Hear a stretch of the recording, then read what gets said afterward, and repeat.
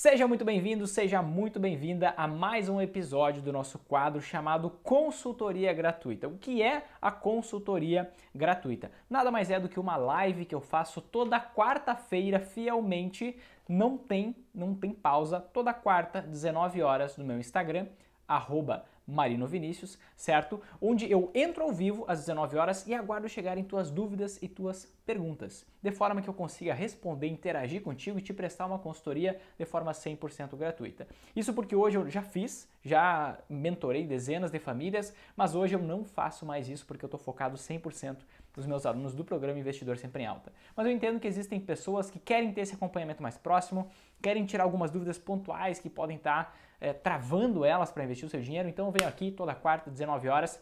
E qual é a tua missão? A tua que está me assistindo ao vivo. O que, que tu tem que fazer agora? Mandar tuas dúvidas e perguntas aqui nos comentários. Quanto antes tu mandar, melhor. Quanto antes tu mandar, é mais certo que eu vou conseguir responder as tuas dúvidas, certo? Se tu demorar para mandar, mandar lá do meio para o final, poxa, eu não tenho certeza por causa do volume das dúvidas, mas eu faço o máximo possível para conseguir responder o máximo de perguntas no tempo que eu tenho. No programa Investidor Sempre em Alta, as ações são concentradas em apenas empresas small.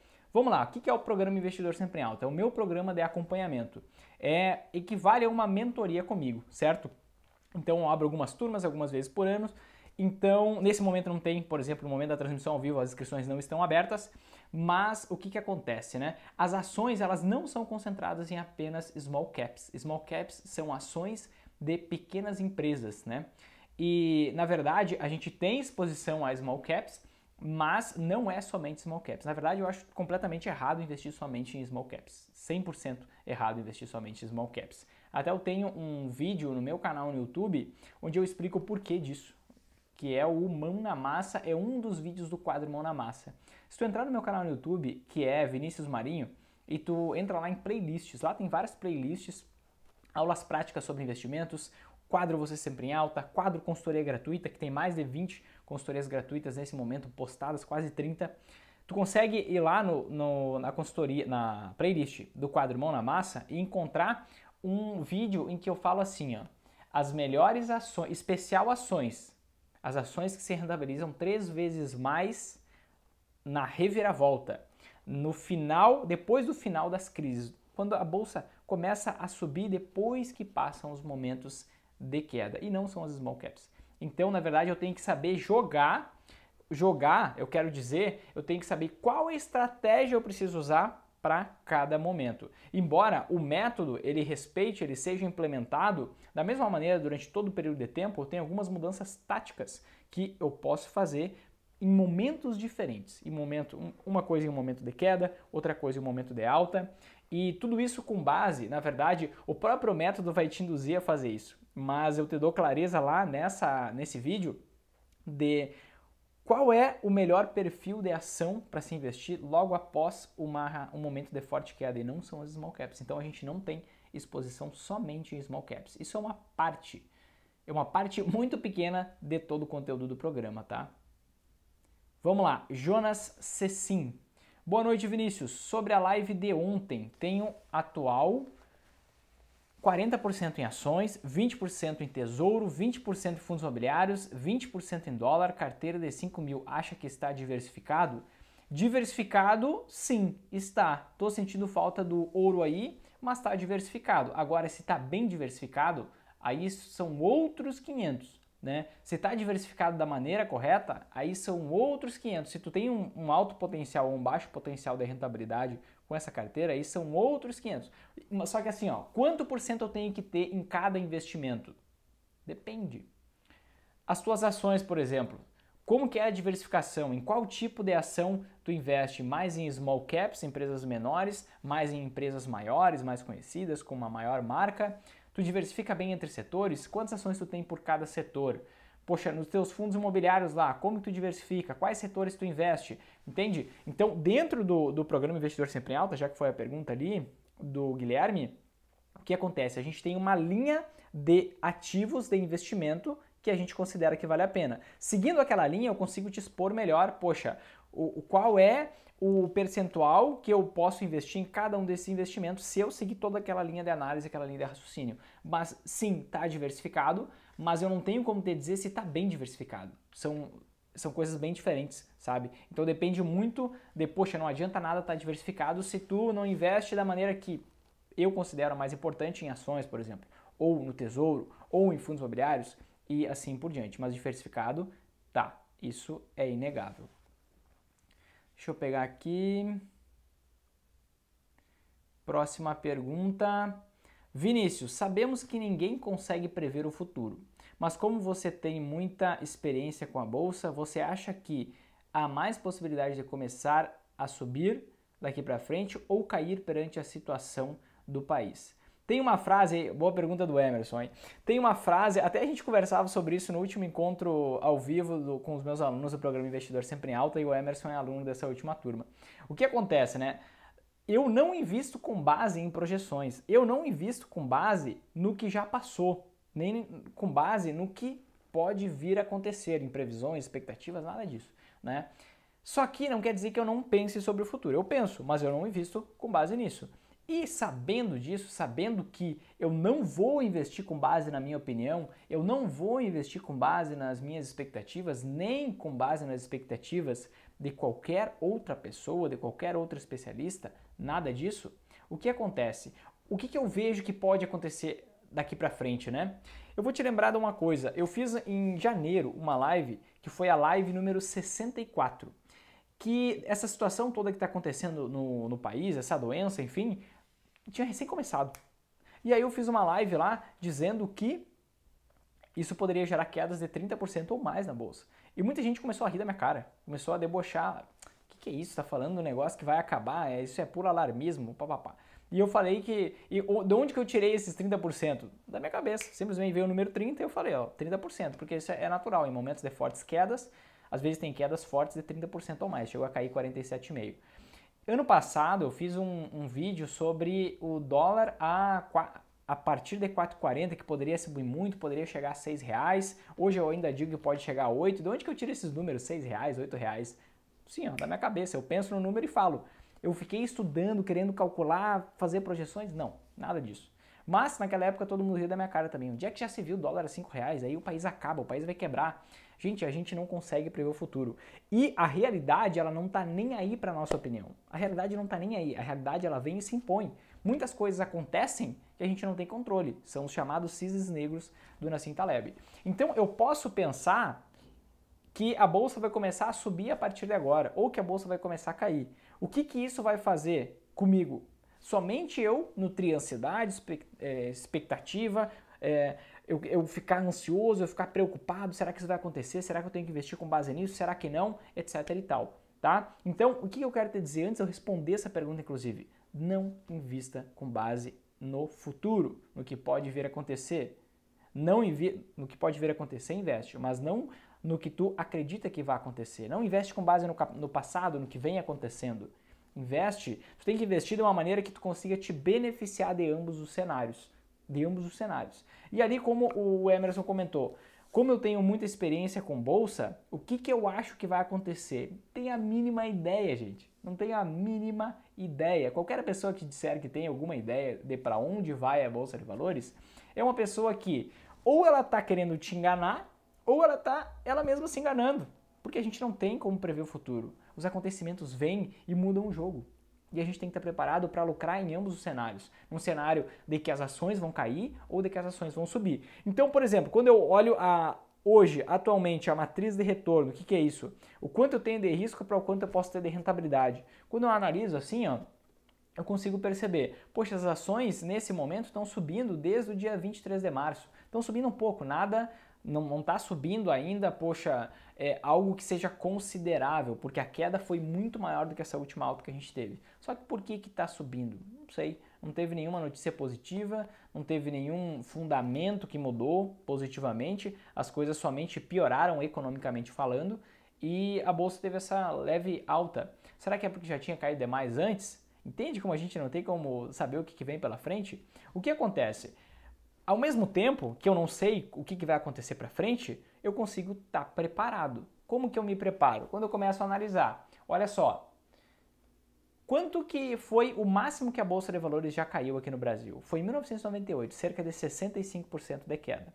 Agora a queda foi a queda mais rápida da história, não foi a maior, mas foi a mais rápida. Caiu 47,5%, no intervalo ali de um pouco mais de um mês. E aí o que, que eu consigo perceber? Opa, será que as ações já caíram o que tinham que cair, não vai cair mais?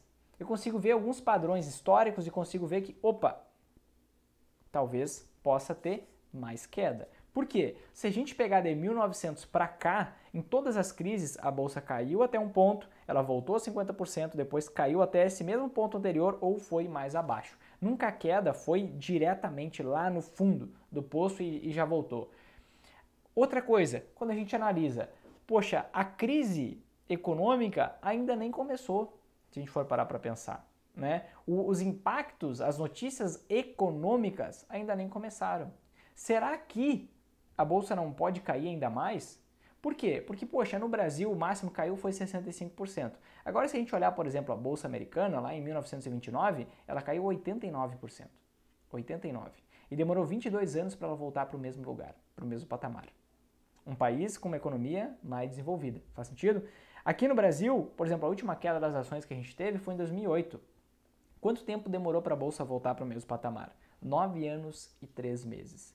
Quanto tempo levou para todas essas quedas? Geralmente a, bolsa cai muito forte, geralmente ela fica lá embaixo, depois ela pode subir um pouquinho, depois cai de novo, e essas quedas duram anos, não é questão de semanas, não é questão de meses. Só que pode ser que aconteça diferente, que dessa vez pode ser que já caiu tudo e agora vai subir.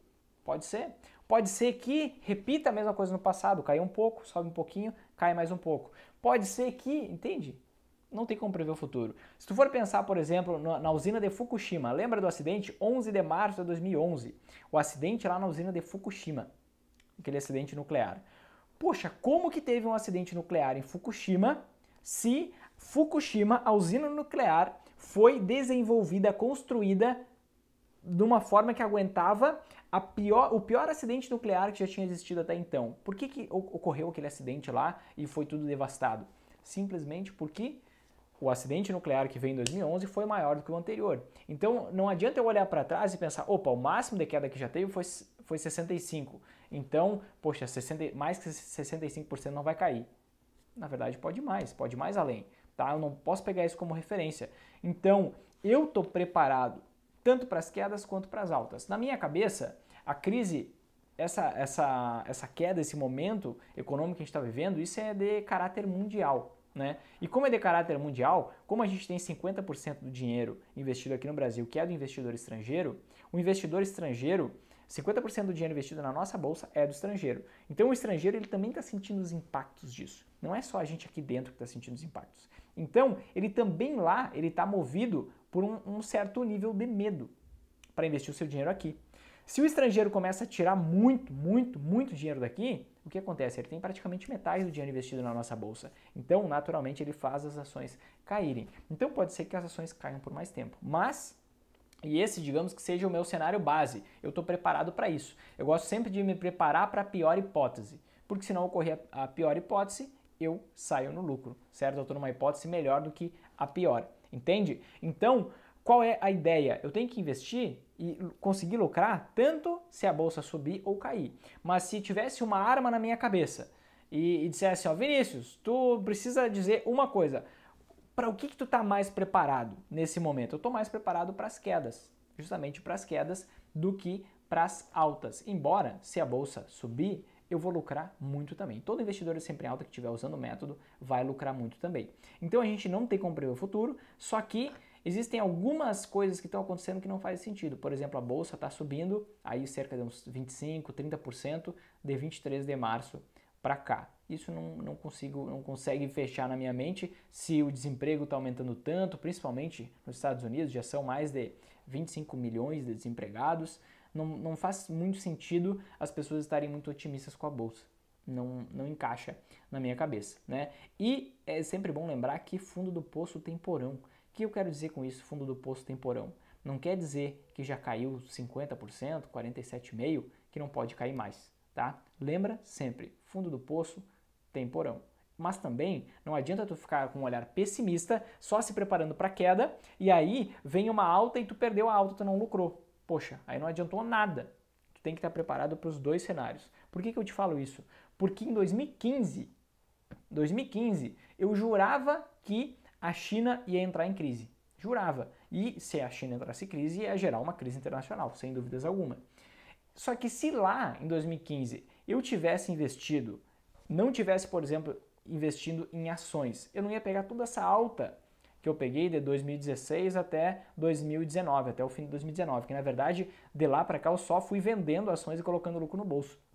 E se eu tivesse investido com base nas minhas expectativas de que a China pudesse entrar em crise, eu teria perdido, não teria surfado toda essa alta.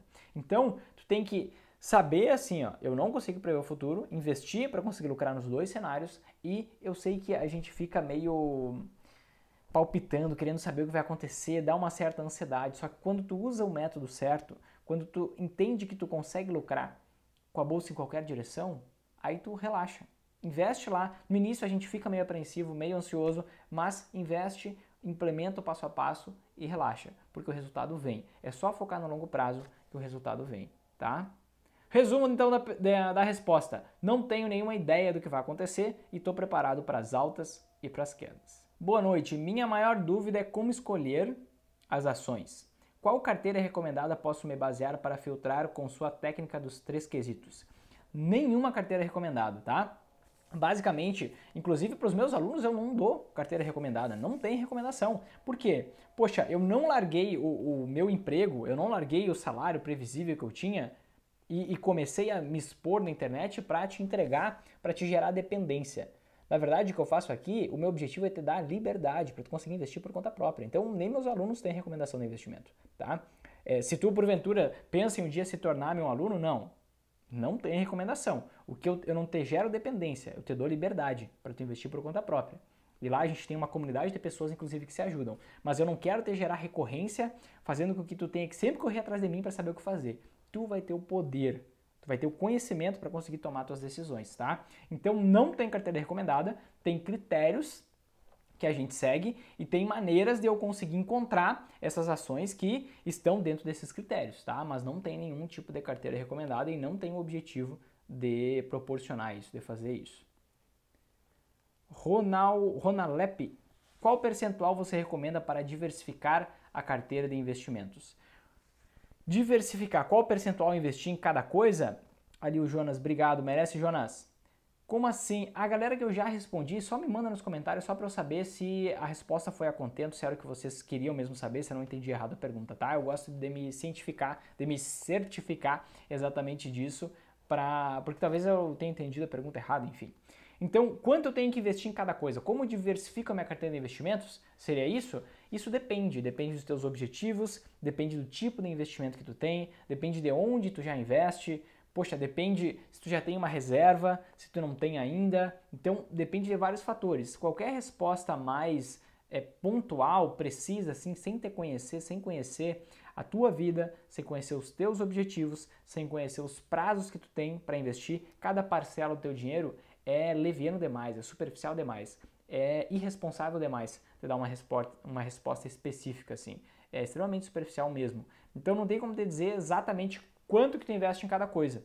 Uma resposta muito semelhante à pergunta que quem fez aqui, deixa eu lembrar. Acho que é a pergunta do Jonas. É a pergunta do Jonas.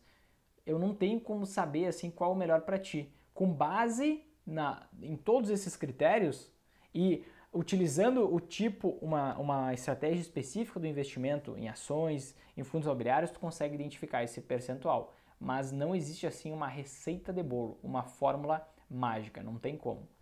Olha aqui um comentário do Guilherme Araújo. A bolsa cai do elevador e sobe da escada. É exatamente isso, exatamente isso. Quando a gente analisa historicamente, até explicando isso, é, é muito bom a gente sempre ficar ligado nisso, né? Por que, que eu não posso estar é, tá investindo com base em um cenário, em uma direção? Porque, poxa, a bolsa ela leva 9 anos, 10 anos para subir e daqui a pouco ela cai. Mas não necessariamente ela cai e para, ela deixa de cair. Ela cai, ela pode subir de novo, pode cair de novo, pode cair mais forte. Mas geralmente, durante as altas das ações, leva muito tempo, levam anos. Só que durante as quedas, o que, que acontece? A bolsa cai em intervalo de meses. Tudo aquilo que demorou anos para subir. Meses, quando eu falo, é um mês, dois meses, três meses, quatro meses no máximo. Entende? Então, tu demora nove anos para a bolsa subir uma determinada, uma determinada quantia, quantidade, e aí ela cai em dois meses, toda aquela alta. Se eu ficar investindo somente em ações, se eu não combinar os meus investimentos, de forma eu conseguir lucrar, se eu não for é, em todos os cenários, se eu não for, por exemplo, coletando esses lucros ao longo do tempo, colocando no bolso, investindo onde está mais atrativo, o que, que vai acontecer se eu focar somente em ações? Vou ficar nove anos ganhando dinheiro, daqui a pouco perco tudo. E aí vai ser uma vida de tô rico, tô pobre, tô rico, tô pobre, tô rico, tô pobre. Não é minha ideia, não é, não é o que eu quero para ti, não é o que eu quero te ensinar também. Então, justamente isso, eu consigo me expor aos investimentos melhor combinando eles e usando as técnicas que inclusive eu vou mostrar na semana do lucro certo em casa, para tu conseguir coletar esses lucros e investir onde está mais interessante agora, tá? Deixa eu pegar mais uma dúvida aqui. A minha, a minha pergunta foi respondida perfeitamente. Show! Perfeito, bem respondida a pergunta. Show, beleza. Pergunta do Fábio. Boa noite, Selva Mestre. Comecei a seguir agora, vi que uma boa estratégia seria aportar no investimento que ficar mais para trás em relação à porcentagem de montagem da carteira inicialmente. Porém, teria algum tipo de stop? Essa é uma ideia, na verdade, esse é um, um ponto dentro do método, tá? Do método investidor sempre em alta. Que basicamente eu vou estar tá investindo naquilo que ficar mais para trás. Mas aquilo que ficar mais para trás não é só dentro de, uma, de um tipo de investimento. Exemplo, vou investir somente em ações, aí o que ficar mais para trás eu vou investir. Na verdade, não. Eu tenho que combinar investimentos diferentes. Combinar investimentos diferentes e não investir só num tipo de investimento, tá? E aí como que eu faço, como que eu sei o momento exato de eu ir lá e aportar, investir mais dinheiro naquela parte da carteira que fica para trás? Não tem momento exato, momento certo. A gente está sempre na busca de, de, querer acertar o bumbum da mosca, né? O ponto exato lá onde a, a bolsa caiu, lá embaixo para eu vender quando bater lá em cima, lá no alto, antes dela ter uma queda. A gente não tem como prever isso, não tem como, não tem como encontrar esse momento. A gente teria que prever o futuro para conseguir adivinhar isso, tá? Então, não existe nenhum tipo de stop, nenhum tipo de stop, nem existe um momento em que eu seja iluminado assim é agora, é amanhã, é semana que vem, porque depois vai voltar a subir e vai cair. Não, não existe isso, tá? Então, o que, que a gente faz? A gente adota uma frequência específica. Eu vou escolher se eu faço o meu rebalanceamento, que isso se chama. Se eu faço o meu rebalanceamento trimestral, semestral ou anual. Eu tenho alunos, por exemplo, que uma vez por ano só que mexem nos seus investimentos. Não precisam de mais do que isso. Uma vez por ano. E sabe, e eles são lesados em rentabilidade? Não nem um pouco. A mudança de rentabilidade, se eu faço os rebalanceamentos trimestralmente, semestralmente ou anualmente, é muito pequena, ínfima, não faz diferença no longo prazo, tá? E sobre stop aqui, que foi a pergunta, é, o que, que acontece? O que, que é uma ordem de stop, né? Quando a gente fala, por exemplo, em ações, o que, que existem do, duas ordens de stop, stop gain e stop loss. O que, que é isso? Stop gain, se eu, eu consigo registrar lá na, na corretora Poxa, comprei uma ação a 10 reais. Se ela subir 10%, subir para 11 reais, o robô lá da corretora vende automaticamente. Então isso é um stop, um stop gain. Aí para queda existe o stop loss, que é, poxa, comprei a 10 reais uma ação e se ela bateu 9 reais, automaticamente o robô vende lá. Então eu tive uma rentabilidade negativa de 10%, isso acontece. A gente não usa nenhum tipo de stop. Por quê? A maioria das pessoas gostam de usar o stop loss, o stop de perda, né? Só que na verdade, quando o investimento cai, ele se desvaloriza, aí ele fica mais atrativo ainda. Por quê? Basicamente, o mundo dos investimentos é a mesma coisa do que eu ir lá e, poxa, vou comprar um celular. E aí eu fui lá num dia e o celular estava dois mil reais. E aí no outro dia eu fui lá e estava mil reais. Teve uma queda de 50% no preço. E aí eu vou chegar lá e vou dizer, não, poxa, mil reais, eu não quero isso. Eu queria pagar dois mil. Não faz sentido. Então, se uma ação boa, por exemplo, estou dando um exemplo no caso de uma ação. Se é uma ação boa, que ela é de uma empresa rentável, pouco dividada, se ela ficou mais barata, como assim eu vou eu tenho que querer comprar ela? Tem que ser meu instinto natural. Aí eu vou reanalisar e ver se faz sentido eu investir nela ou não. Agora, se a ação caiu, eu não tenho que vender, eu tenho que comprar. Se a ação subiu, não necessariamente tem que vender. Depende. A ação agora, a partir de agora, ela começou a ficar cara? ou ela ainda está barata? Por quê? Se o preço da ação subiu e o lucro da empresa subiu, eu não tenho que vender. Quem sabe eu tenho até que investir mais. Se eu estou investindo há alguns meses já nos outros investimentos, quem sabe até o que acontece? Aquela ali fique para trás mesmo ela tendo subido. E quem sabe esteja mais atrativa ainda. Então, depende. Como que eu decido comprar ou vender uma ação? Eu tenho que ter um método. Eu tenho que saber exatamente o que, que eu analisei na hora de comprar aquela ação. Então, por exemplo, eu segui um determinado método, a gente tem um checklist dentro do, do próprio programa, e aí eu me certifiquei que com base em tal, tal, tal, tal coisa, essa é uma ação barata de uma empresa rentável e pouco endividada. Pronto, fui lá e investi. Quando que eu vou vender essa ação? Quando ela não for mais alguma dessas coisas, ou barata, ou rentável, ou pouco endividada. Somente isso. O quanto subiu ou caiu não importa. Por quê? O quanto subiu ou caiu se refere ao que já aconteceu. O que já aconteceu está no passado. Eu não tenho como mexer no passado. A minha decisão de comprar ou vender uma ação, ela é simplesmente com base, poxa, como que ela está hoje? Essa ação está cara ou está barata? Essa empresa é rentável ou não é? Essa empresa é super endividada ou é pouco endividada? Por quê? Porque eu analisar isso, esse dado de hoje, vai me dizer como que vai ser esse investimento daqui para frente. Porque se eu comprar, por exemplo, uma ação de uma empresa rentável, de uma empresa pouco endividada, mas uma ação extremamente cara. Basicamente, o que eu estou fazendo? Eu estou pagando o preço de uma Ferrari e estou comprando um Fusca, porque eu estou pagando um preço alto demais. Entende?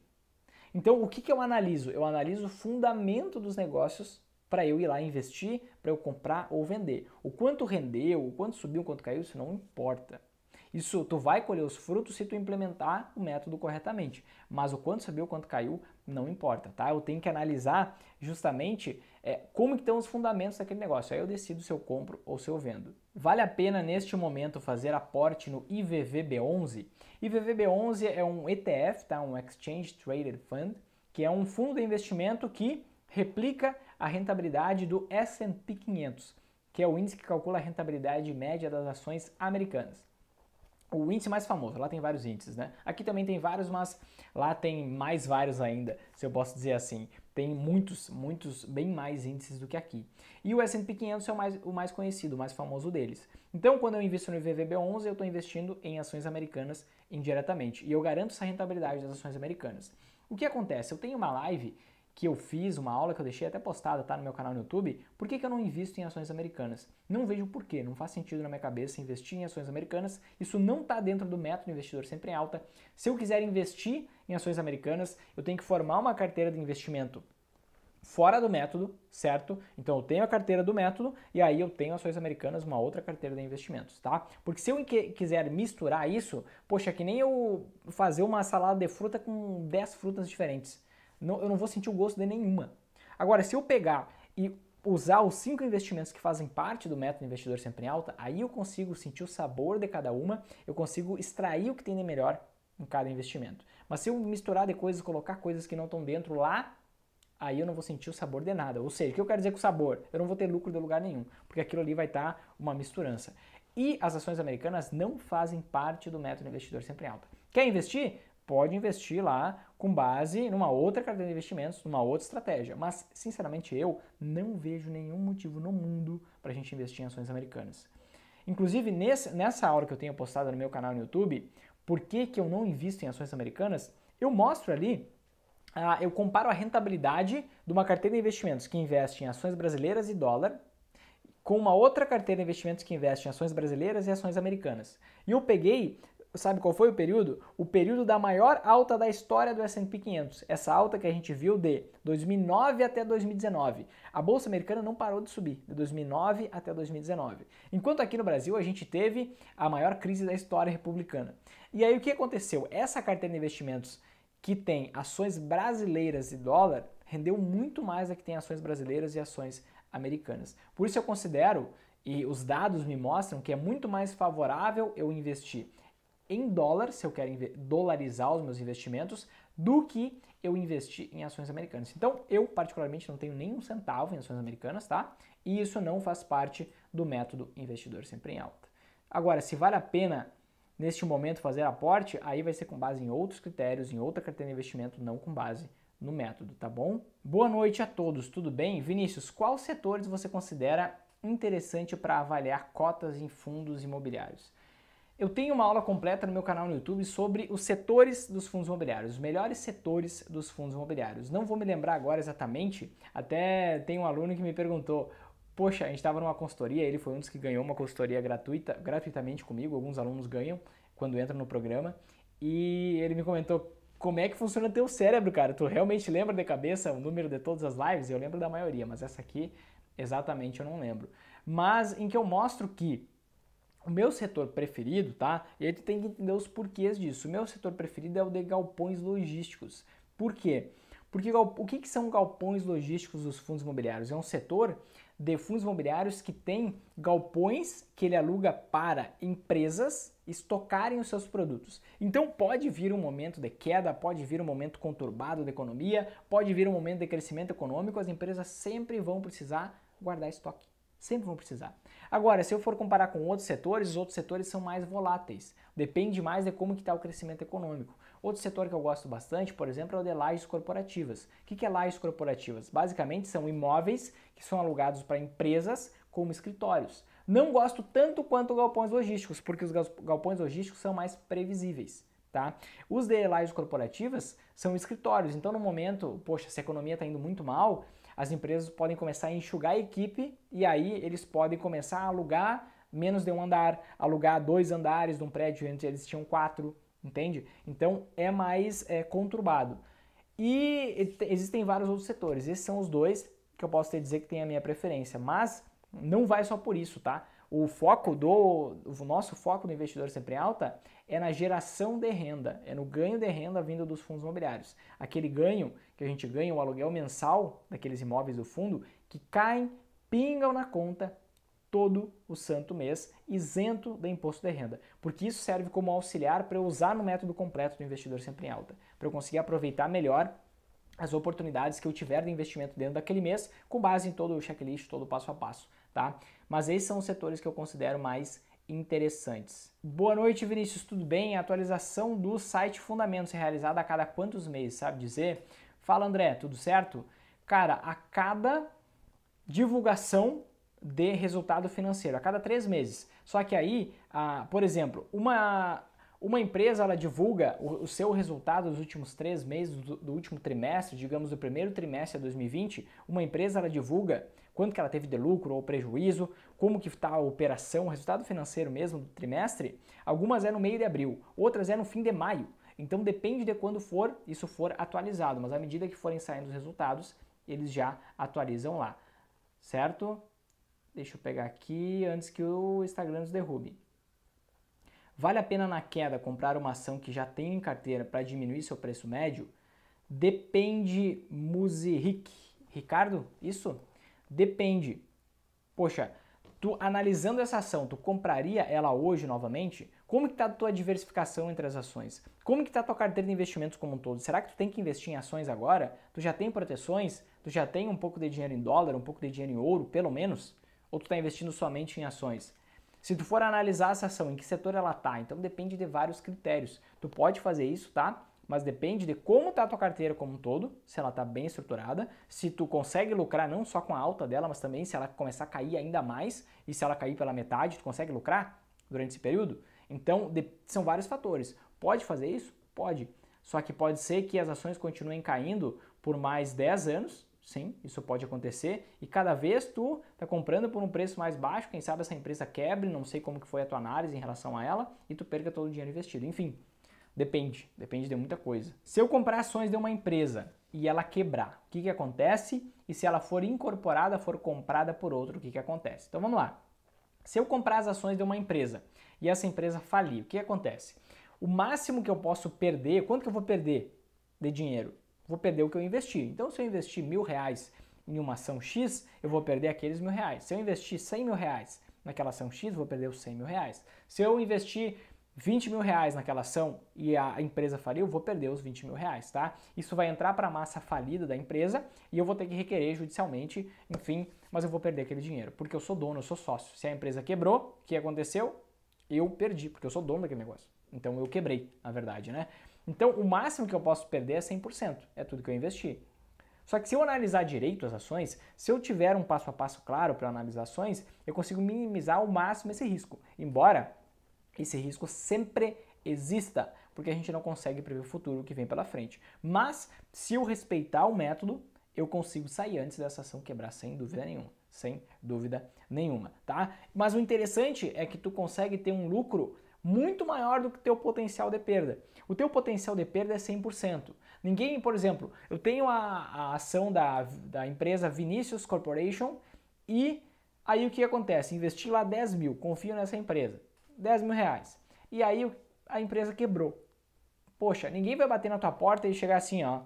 Dá pra escutar? Chegar assim, bateu na porta, ó, Vinícius, vou levar teu sofá, tua geladeira e tu me deve ainda mais 5 mil reais porque tu era acionista dessa empresa e ela veio a falir, ela quebrou. Não, tu tá limitado, tu tá limitado ao capital que tu investiu. Se tu investiu 10 mil, o máximo que tu perde é aqueles 10 mil. Só que se ela subir, se ela se valorizar, tu pode ganhar muito mais do que 100%. A gente vê isso tranquilamente em várias ações. Né? Se eu pegar intervalos mais longos de tempo, dois anos, três anos, cinco anos, a partir de cinco anos, melhor ainda, várias ações são as que se rentabilizam mais de 200%, 300%, 400% e por aí vai. Então, por existir essa assimetria convidativa, eu tenho mais a ganhar do que a perder, muito mais a ganhar, porque não tem um limite de um limite máximo, o teto é de vidro, né?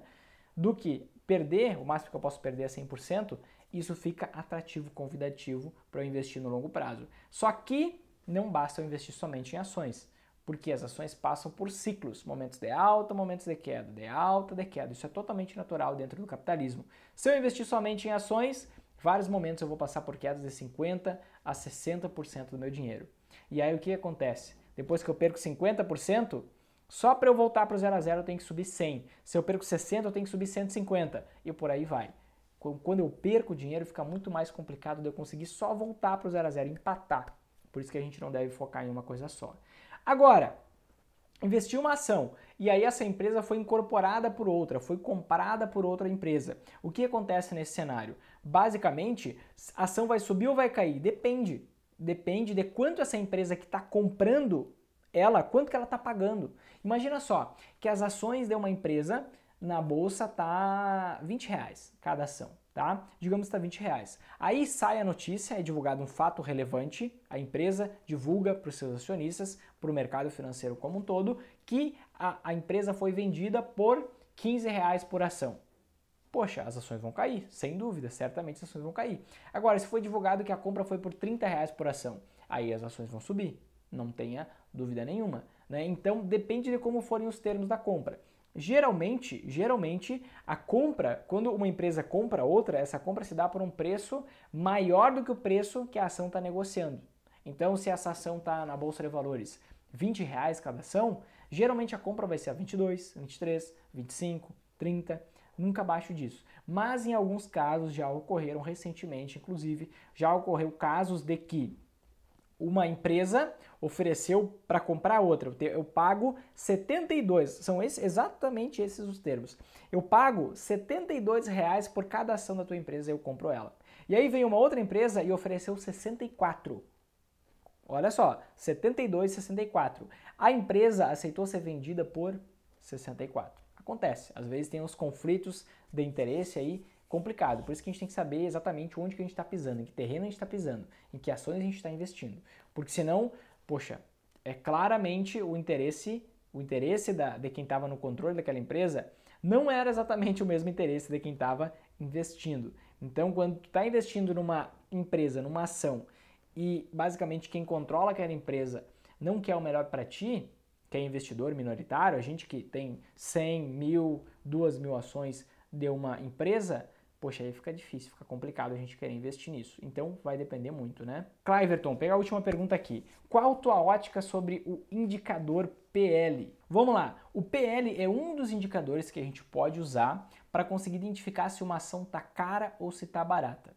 O que eu prefiro analisar não é o PL, é o contrário dele, é o LP, o lucro em relação ao preço e não o preço em relação ao lucro. Esse indicador PL, como que eu encontro? Eu pego o preço da ação e divido pelo lucro da empresa. Então o preço da ação hoje está é, 20 reais. E aí o lucro por ação da empresa, digamos que seja de 2 reais. tá? Aí vai ser 20 dividido por 2, o PL é 10. Ok. Mas eu gosto de ver o contrário disso, é muito mais familiar para a gente analisar o LP. Eu considero, inclusive, esse o melhor indicador para a gente ver o preço de uma ação. Se o preço da ação realmente está bom ou não. O que, que é o LP? O LP é o contrário, é o lucro dividido pelo preço. É o contrário do PL. Então, como que eu posso fazer essa conta? Basicamente, o preço da ação está 20 reais, o lucro por ação é de 2 reais nesse meu exemplo. Então, eu não vou fazer 20 dividido por 2, eu vou fazer o contrário. Vou fazer 2 dividido por 20. Vamos mexer na calculadora aqui para eu não errar. Então, 2 dividido por 20. Quando eu fizer essa conta, eu chego num resultado de 0,1. Poxa, o que, que diz para mim 0,1? 0,1 é em número. Eu tenho que transformar isso para percentual. Transform... Como que eu transformo um número para um percentual? Só multiplico por 100. Então, 0,1 vezes 100, vou chegar no número 10. Significa 10%. Então, o LP dessa ação é 10%. O que, que significa isso? Que o LP é 10%. Significa que o lucro que eu tenho eu investindo nessa ação, se essa, se essa empresa que está por trás da ação, porque sempre atrás de uma ação tem uma empresa, se essa empresa continuar com lucro constante, o que acontece? Eu estou tendo 10% de rentabilidade em relação ao lucro que eu vou pagar por ela, se eu for investir naquele momento. Então, estou tendo 10% de rentabilidade, certo? Em relação ao preço que eu estou pagando por aquilo. Por que, que isso é mais familiar com a gente? Pensa comigo, quando tu vai avaliar, por exemplo, vou investir num título público, o que, que tu vê lá? quanto por cento está rendendo aquele título público. Quanto por cento ele rende? Poxa, 7% ao ano, é 5% ao ano. Quanto vai ver a poupança? Quanto que rende a poupança hoje? Poxa, a poupança está rendendo 2,6% ao ano. Tá, aí eu vejo, eu analiso uma ação, que uma ação ela tem um LP de 4%. 4%. Então quer dizer que a rentabilidade daquela empresa em relação ao preço que eu vou pagar pela ação daquela empresa, se tiver 4% e a poupança rendendo 2,6%, poxa, é uma rentabilidade muito pouco acima da poupança. Poxa, se é para eu ter uma rentabilidade tão pequena assim, eu fico na poupança mesmo. Eu não preciso ir para a renda variável, correr os riscos da renda variável. Então eu prefiro analisar o LP e eu dificilmente vou gostar de um LP que seja menor do que pelo menos o dobro, preferencialmente o triplo, triplo do que rende a poupança, do que rende o Tesouro Selic, que é o tipo de investimento mais seguro, um dos três tipos de títulos públicos, o, o, tipo de título público mais conservador, aquele mais seguro que existe no nosso país, certo? O investimento mais seguro que existe no país, mais que a poupança, inclusive. Então eu prefiro analisar o LP do que o PL. O PL me diz em quantos anos eu vou receber o, na forma de lucro o dinheiro que eu investi de volta. Né? Então, basicamente, se o, o lucro tiver R$ reais por ação e o preço da ação tiver R$ reais, vou demorar 10 anos para receber esses R$ reais de volta como forma de lucro. Mas o LP ele é muito mais intuitivo, ele é muito mais dia a dia. Então eu consigo ver quanto que é a rentabilidade dessa empresa em relação ao preço dela. Assim eu consigo não analisar a rentabilidade. Vou usar outros indicadores para ver se aquela rentabilidade está alta ou está baixa. Assim eu consigo analisar se o preço está condizente com a rentabilidade que ela gera. Certo, gente? Se tu realmente curtiu essa consultoria gratuita, mais esse episódio, se isso te ajudou de alguma maneira, o que, que eu peço para tu fazer agora? Aqui embaixo tem algum botão de like, de curtir, de gostei, um coraçãozinho. Clica nele, porque assim as redes sociais entendem que esse assunto é relevante, entendem que isso te ajudou e eles distribuem para muito mais pessoas. Esse é o modelo das plataformas, né? Então assim tu consegue ajudar a gente que tu até nem conhece a ter acesso a esse conteúdo e também ser ajudada por isso, para conseguir realmente sair dessa hipnose de, poxa, para um, como que eu tenho que investir? Será que cai? Será que sobe? Deixar de investir com base expectativas. Isso não gera resultado. E se tu conhece gente que investe na bolsa ou quer investir na bolsa de valores, o que, que tu faz agora? Compartilha diretamente com essa pessoa. Manda em grupos de WhatsApp que tu saiba que tem gente que está interessada nisso. Ajuda outras pessoas, só não deixa essa mensagem morrer aqui. Também aproveita e já me segue no Instagram. Meu Instagram é marinovinicius. Se tu ainda não me segue, vai lá, porque toda quarta-feira rola consultoria gratuita. Toda quarta, 19 horas, tu pode vir nessa live que a gente faz e aí tu me manda lá nos comentários a tua dúvida, a tua pergunta, aquilo que te trava para investir e eu vou te responder bem nesse formato como tu assistiu, na forma de uma consultoria 100% gratuita. Certo, gente? Então, combinado, foi um prazer enorme estar aqui contigo nesse dia e a gente se vê em breve. Um forte abraço e até mais.